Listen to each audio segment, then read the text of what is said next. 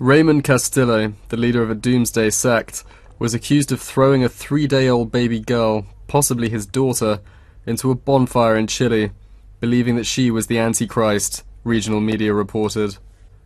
He then fled to Peru, where his body was found hanging in an abandoned house in the historic city of Cusco. Apparently, he has committed suicide by the fingerprints sent by Chilean Interpol to Peru's Interpol. The identities match.